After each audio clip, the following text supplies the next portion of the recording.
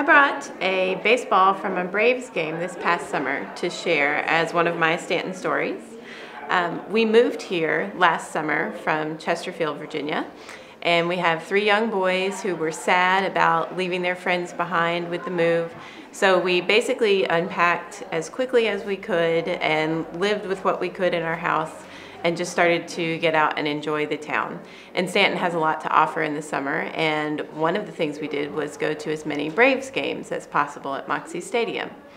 Our two older boys were 8 and 10 at the time, and they quickly got in the habit of letting us hang out in the stands, and they would take off and sit up on a hill behind the stadium watching for foul balls. The Braves had a great season and went on into the finals. And before their season was over, each of our older boys had caught a foul ball.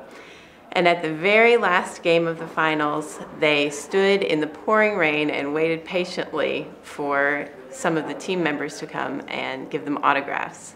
So we have two signed balls in our house now which are really special to the kids because they have such fun memories. But the special thing about it to me is that it shows that our kids were adjusting and getting settled and learning to love their new home.